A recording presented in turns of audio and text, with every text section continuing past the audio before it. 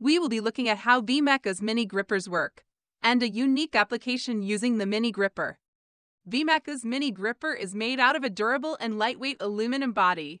Bottom of the mini gripper is made out of EPDM sealing foam, which allows the mini gripper to flexibly grip objects of various shapes or sizes. Looking at the inside, the mini gripper houses VMECA cartridges to provide a secure and stable performance despite the fluctuating compressed air. Similar to our larger V-grip system, the mini gripper can be used to pick up various objects. Our smaller mini grippers are perfect for transporting narrow PCB boards or small packaged goods like coffee sticks. For certain labeling processes in factories, a labeling machine may require the help of human hands.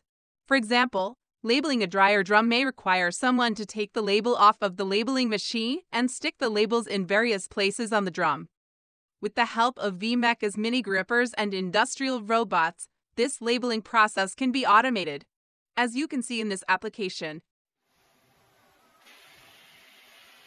the industrial robot has fashioned several mini grippers in four directions. The end of the industrial robot then rotates to allow each mini gripper to grip onto a label.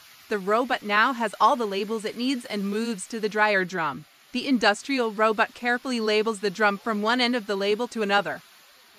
It continues to label the drum in the places that need a label.